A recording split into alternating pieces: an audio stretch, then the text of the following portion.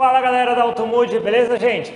Você que está chegando aí agora e não é inscrito no canal, já se inscreve aí, ativa o sininho de notificações para sempre que sair um vídeo novo, você ser avisado pelo YouTube, tá bom? Isso é muito importante, você está acompanhando todas as nossas ideias. No vídeo de hoje, o que a gente vai estar tá fazendo? Vamos estar tá trocando ah, o acetato do painel do Celta 2008 pelo 2012, beleza?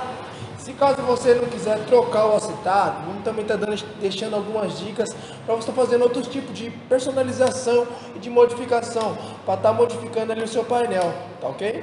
Isso vai servir também, essa personalização, não só para o Celta, mas para o Corsa, que a gente também já tem projetos aqui no canal, e qualquer outro modelo de veículo que seja é, o, o velocímetro, essa parte aí de, de papel, que é o material que é utilizado.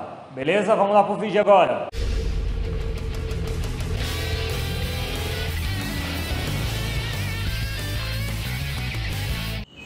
Gente, vou focalizar aqui para vocês. Mostrar como é que é o painel do antes, beleza? Ó. Painelzinho verde, luzinha bem fraca, ok?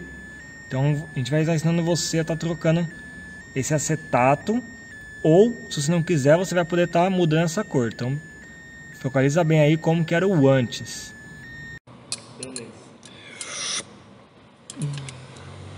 Rapaziada, para estar tá desmontando aqui esse painel aqui, vou estar tá utilizando três tipos de chave Phillips.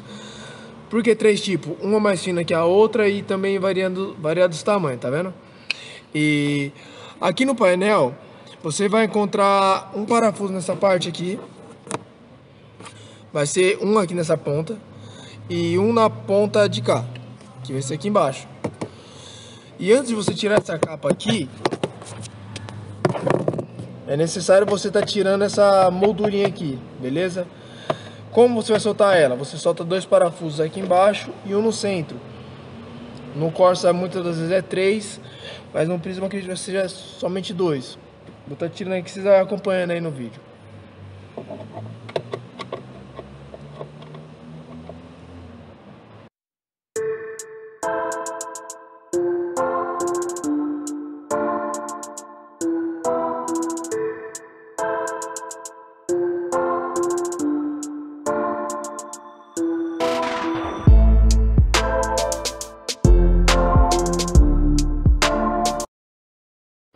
Já tirei aqui todos os parafusos, assim como eu havia dito, que é três parafusos para prender, dois aqui em cada ponta. Oh, perdão, um em cada ponta e um aqui no meio. Já eliminei. Vou estar tá tirando agora esse detalhezinho aqui dos frisos, que nós já postamos vídeo no canal de como tá colocando. Só puxar ele.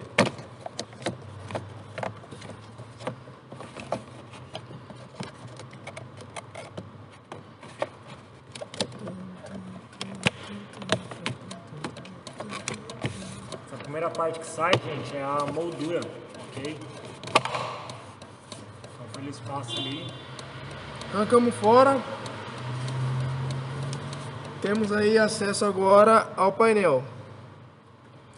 Esse painel ele não tem muito segredo, ele só é preso por dois parafusos. Aqui, caralho. Tá mostrando os parafusos. Um aqui e o outro aqui embaixo. Beleza? Vocês ver esse parafuso, gente.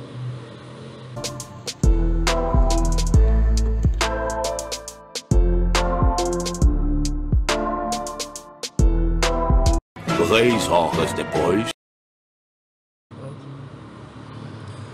Ó, antes de você estar tá retirando o painel, tem esse chicote aqui que ele alimenta o painel inteiro.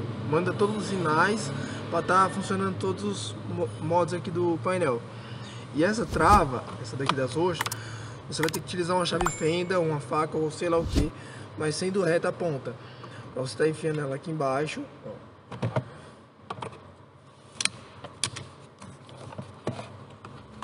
Para você estar tá destravando.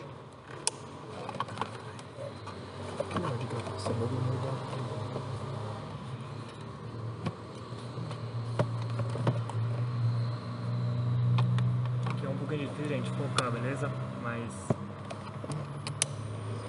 e pronto.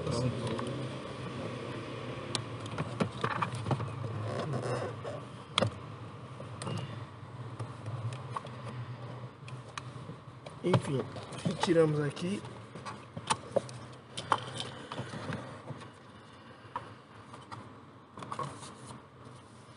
Painel solto. Bora para desmontagem agora. Ó, para desmontar não tem segredo. Como vocês podem ver, ó, tem essas travas. Aqui foi um pouco danificado, mas enfim. É só você estar tá pressionando aqui com o dedo, empurrando elas para frente.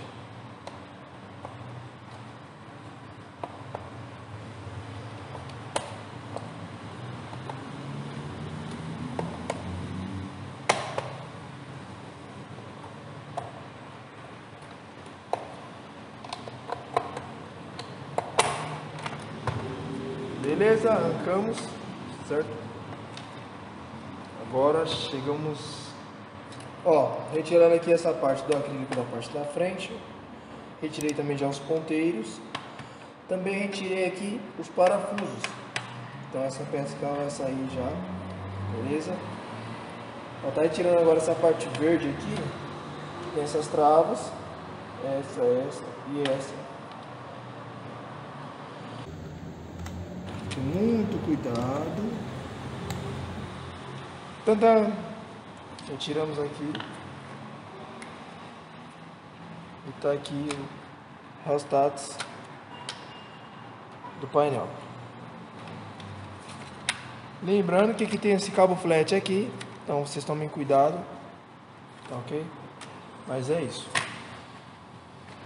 Gente vai remover agora os dois acetatos, vou mostrar aqui pra vocês, ó. Esse aqui é o que estava no meu carro, que é a cor verde. E esse aqui é o que a gente vai colocar agora. Ok? Então pra vocês verem aí. Só que também a gente vai ensinar você, caso não queira comprar um outro acetato, isso aqui vende no Mercado Livre, você pode estar tá personalizando ele usando alguns produtos. A gente vai mostrar agora aqui na, na bancada aqui. Produtos que a gente vai utilizar, pode usar água rasa, algum tipo de solvente, tá bom? Removedor de tinta, vai usar verniz vitral, qualquer um que você, a cor que você quiser personalizar. E aí você pode estar tá utilizando um algodão, um pano aí para estar tá removendo essa área aqui que está pintada. Beleza? A gente vai remover a tinta dessas áreas aqui e usar o verniz vitral. Aí depois a gente usa com um pincel. Então, vou colocar no, na aceleradinha do vídeo aí para vocês verem o processo como é, como é que ele é, como é que ele é feito.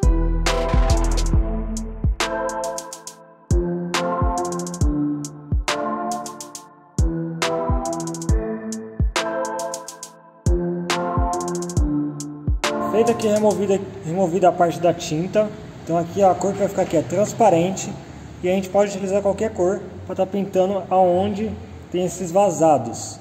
Então, a gente vai utilizar o verniz vitral azul, ok? Pegou, passou um pouco e aí você espalha aqui nessa parte. Dá uma vazadinha ali, mas não tem problema não.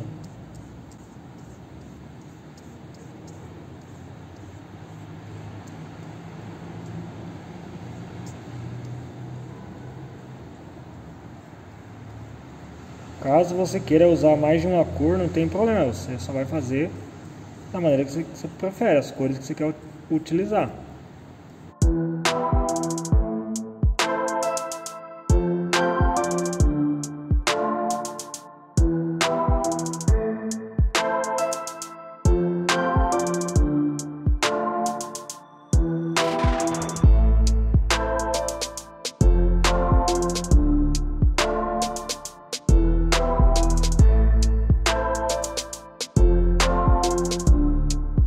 Olha só, que ele era verde, ó, já ficou por completo azul. Aqui a gente só usou uma cor porque a gente tinha comprado uma só, beleza? Só que aí, se você quiser estar tá usando mais de uma cor, você pode fazer esse filetinho aqui, esse filetinho aqui azul e os números brancos, vice-versa, vermelho. É só comprar o verniz vitral e aí vai da sua criatividade. Lembrando, se você tem um Corsa, um outro modelo aí de veículo, um, um Siena, um Palio, um Gol, o procedimento para pintura é o mesmo, só vai mudar a maneira de desmontar o seu painel, ok gente? Bora agora galera para a parte da montagem, beleza?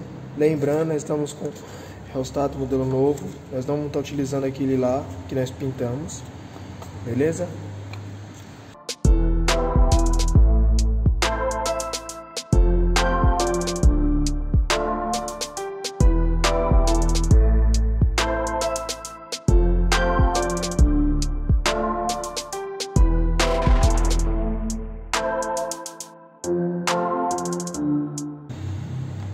Um outro super detalhe é esse aqui é o antigo que nós desmontamos, ele não contém aquelas lâmpadas que contém neste aqui, por ele ser de LED, beleza? Vocês podem estar notando aqui dentro, ele tem várias LEDs, diferente desse aqui, ele utiliza lâmpada no lugar dos LEDs.